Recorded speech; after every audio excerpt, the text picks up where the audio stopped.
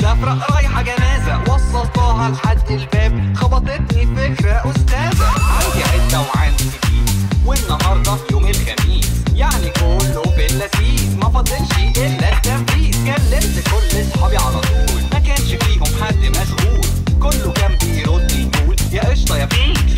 Cool.